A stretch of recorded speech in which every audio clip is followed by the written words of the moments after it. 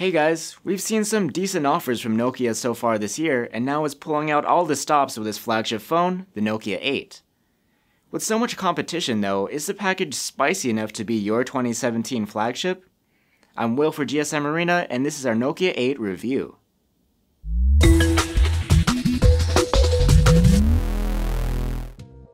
Our steel Nokia 8 isn't actually made from steel, that's the name of the color, but it's not too far off.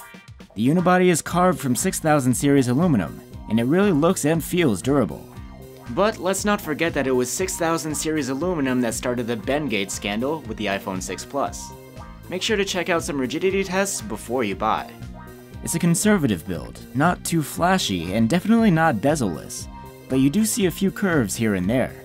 There's a bit of a camera bump on the back, so the phone will wobble on a table. It's not a big deal though. Built around a 5.3 inch IPS LCD display, the Nokia 8 isn't huge. It's even a bit smaller than its mid-range brother, the Nokia 6. But this smaller screen size, coupled with a QHD resolution, makes for some nice crisp images. Outdoors, this is the best LCD we've seen yet. Sunlight legibility is actually better than most AMOLEDs, even rivaling the iPhone 7 Plus. There's an always on display too, but it's more like sometimes on, to save battery. You can set it to go to sleep when you're not moving the phone, and it will turn back on when you do.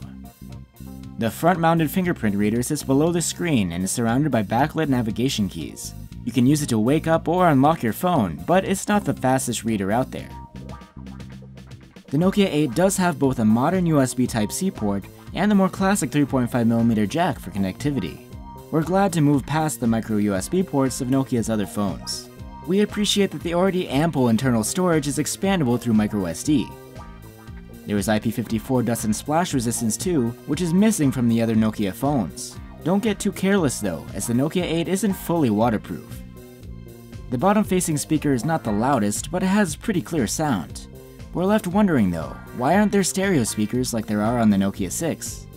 At the heart of the phone is a Snapdragon 835 chipset, which is also in this year's other top performing phones.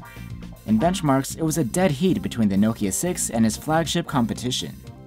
Now according to Nokia, there's an advanced heat dispersal system inside, which should keep it cooler during heavy use. We definitely noticed this during testing. After running all the benchmarks, the phone didn't even seem warm. Plus, it's just super snappy, one of the most responsive phones we've held in a while. Battery life is surprisingly good on the Nokia 8. It's better than Sony's Xperia XZ Premium and the LG G6. With the quick charger, the phone goes from 0 to 50% in about 30 minutes. There's no wireless charging here though. The Nokia 8 runs on Android 7.1.1 Nougat with a Nokia overlay. It's pretty bare bones Android, with most features being handled by Google's app package. Google Photos, Google Assistant, which you'd see on basically any Android device out there. The OS enhancements are pretty basic, but the upside is we should see a pretty fast update to Android 8 Oreo. Nokia is taking some pride in the Nokia 8's Zeiss branded dual cameras, which are both 13 megapixels and f2.0. In this setup, one camera has a color sensor and the other black and white. The camera interface is proprietary and it works well, we only wish there were more options in manual mode. There's no shutter speed control, among other things. Now, unlike Huawei's combination, Nokia's dual cameras don't provide for lossless zoom. You can stack their output to improve image quality, though we didn't notice any real difference. The shot just took longer. But the cams do work together to blur the background behind your subject. This happens automatically and produces some really nice looking portraits. Regular daylight shots with the color camera impress us a lot with their high level of detail, moderate sharpness, and vibrant colors.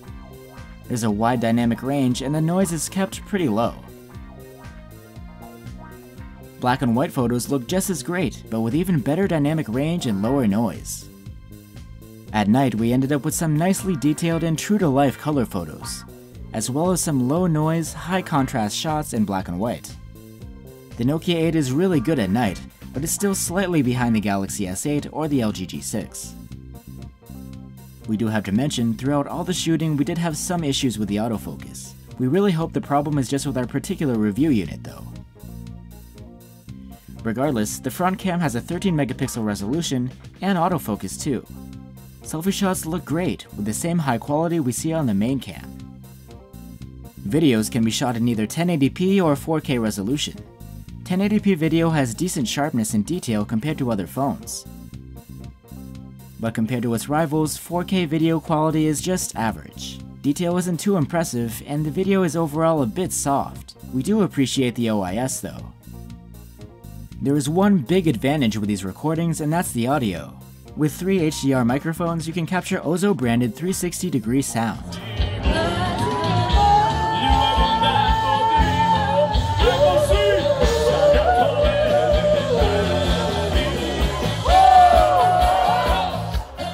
Of course, we didn't forget the Bothie. With a feature called Dual Sight, you can take pictures or record video from the front and rear cam at the same time. And you can live stream this directly to YouTube or Facebook if you want to. The concept is pretty neat. You can see your face and reactions alongside something like a fun concert, but sadly the audio and video quality take a big hit in Bothie mode. For a decent recording, especially of music, it really feels better to stick to normal video. So, while the Bothie wasn't as impressive as we'd hoped, the Nokia 8 still delivers some top-notch photos and great audio recording. These days, not a ton of high-quality content is being produced on phones, but with devices like this coming out, maybe that's starting to change. Overall, the Nokia 8 is a well-built smartphone that can give the top flagships a run for their money. Although it doesn't have interesting software features, it more than makes up for that with everything else it has to offer. Thanks for watching, don't forget to hit those like and subscribe buttons down below if you enjoyed this video and you can stop by gsmarena.com to see our full test findings. See you next time!